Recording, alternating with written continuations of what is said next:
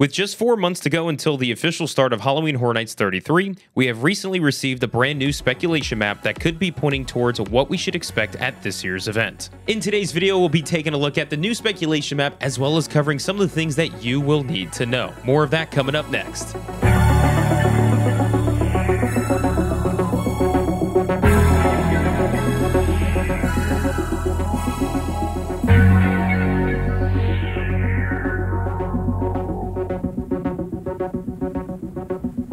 Everyone and welcome back to the channel that takes you through the fog with our breakdown of Spec Map version 2 for this year's Halloween Horror Nights event. In today's video, we will be focusing on the changes from Spec Map version 1 to version 2, as well as some additional thoughts that we have on the official news released from Universal. And like always, this will of course lead up to our next live stream on Tuesday, May 7th, where we'll discuss all of this more in depth. So be sure to mark down that date in your calendar to join us for that discussion. We have this video broken down into two main segments with a bonus segment towards the end, which will get its very own video later on this week. Those two segments are the new additions that we received to this map, as well as the first one we're going to be briefly diving into, which is the things that we lost from map one to map two. We lost a total of six things from the first speculation map, five of those being potential houses and one of those being a potential show. So help us in saying goodbye to those symbols. First one up is the black and white skull, which we speculated to be a nod to last year's tribute store with the comic book theme. Really bummed to see this one go. The second one is also a skull, but this one had fangs as well as a film reel next to it hinting at a possible IP. Lots of people were talking about this one being vampire related and possibly even Dracula. The third symbol only stated that it was an unknown IP, which we were all thinking would be a Blumhouse film, we just didn't know exactly which one. One thing to note with this one is that it was the fifth IP house speculated to be at the event, but now we only have four so far. Continuing with the ones we lost, we have the Minotaur symbol, which was making some people believe that we were possibly getting a Poseidon's Fury house, which could have been really cool. Then the final house symbol that we lost, which was a night sky. We were speculating that this one could be Nightmare on Elm Street, which would be a shame if we lost this property since it was a fan favorite and it had some high potential as a house for Halloween Horror Nights. And last but not least, we have the symbol of a castle. However, this one was hinting towards a second show for the event, as well as it being related to some sort of IP. Now that we've listed off the ones that we lost from version 1 to version 2, let's discuss the new additions to the speculation map. Starting first with the Bride of Frankenstein hair that is on top of the female gender symbol. We of course believe that this is for the Universal Classic Monsters house that we are anticipating to appear for this year's event. With the film reel and the Bride of Frankenstein Frankenstein hair, it seems pretty likely that that's what it's pointing towards. The question is, which classic monsters? Yeah, that, that is the question going around right now, especially what we've talked about for quite some time. With Bride of Frankenstein's hair being there, of course, like the answer is kind of pointing towards, well, maybe we get a Bride of Frankenstein house. We did have, you know, one back in HHN 30 for Bride of Frankenstein Lives, and that's where we had all the female classic monsters. You had the uh, Brides of Dracula, you had the Bride of Frankenstein in there, um, and they were just kind of battling, uh, battling it out. So, obviously we could see something in that nature. Uh, another thing a lot of people are talking about is also epic universe along the way with victoria frankenstein and maybe seeing like a story leading into what epic universe for the dark universe is going to have for us. Uh, generally i don't really know. I'm kind of torn between the two. Uh, it would be cool to see something for epic universe especially like a little story to get us you know prepped and ready for that. I just hope it's not too promotional along the lines of that. But Classic Monsters, it seems like we're going to be getting it in the soundstage according to this version of the map. Moving into the next new addition that we have is this Egyptian museum picture of some sort. Uh, when I look at it, obviously some Egyptian cultural thing that we're seeing that's up on the wall. And then you got these little like, you know, like barricade blocking little fence kind of thing what could this mean? I, when I look at this, I think of like, okay, only time I see something like this is usually in a museum. But what kind of house are we expecting? Are we expecting a museum house? Potentially, we've had one in years past at HHN where things in the museum have come to life. Another thing that I think of too is the thing that we lost from the last speculation, which is the Minotaur.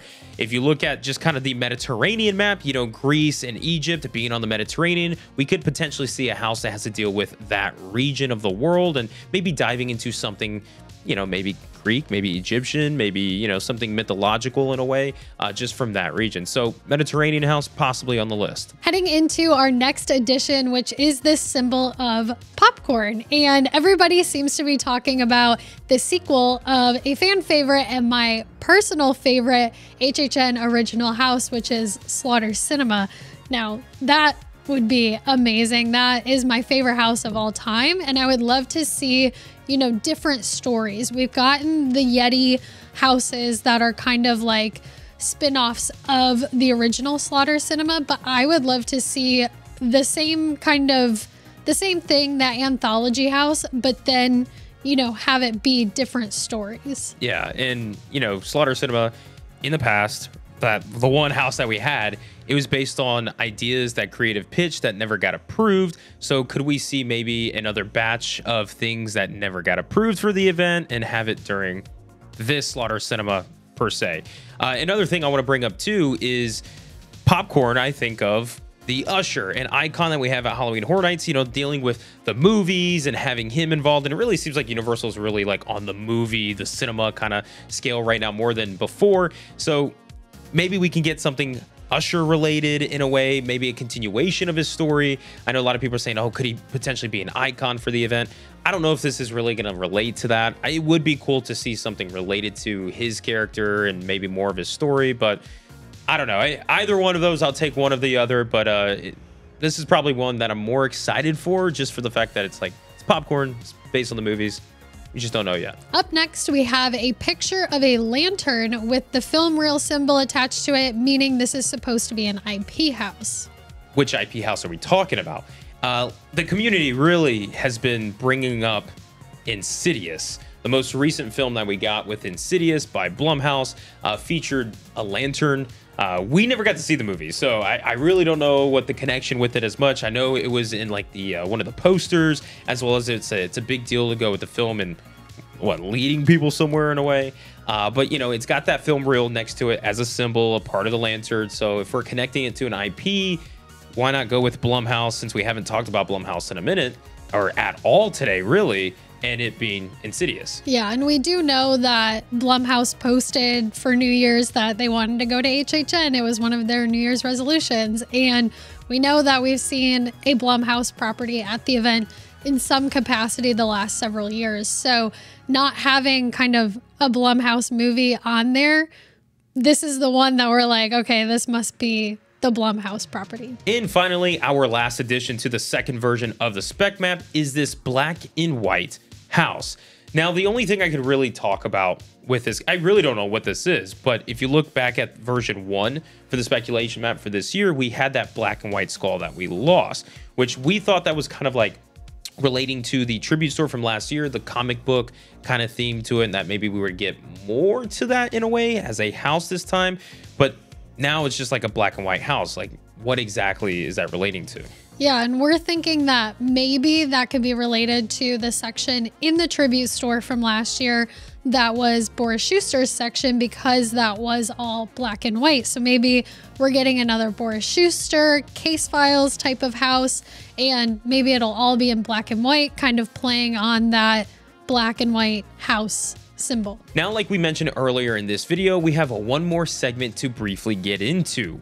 If you notice, on the speculation map, there's a couple of changes that were made based on locations. Another thing you'll see too is that we didn't get a second show listed. However, one thing that we're speculating as well as anticipating is that there'll be at least two shows for this year's Halloween Horror Nights. Universal just recently made an announcement for a couple of things coming to their parks this summer, one of them being a new nighttime lagoon show.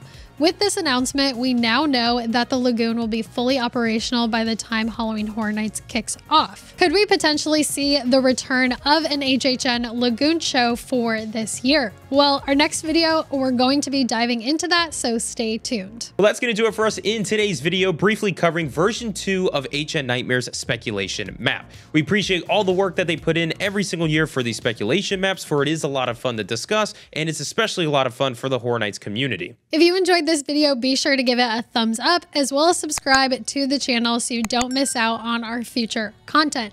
Also, be sure to leave a comment down below and let us know what you think of version 2 of the spec map. And until that next video, we look forward to seeing you all there. And like always, we'll catch you guys in the fog. Peace out, everybody. Bye.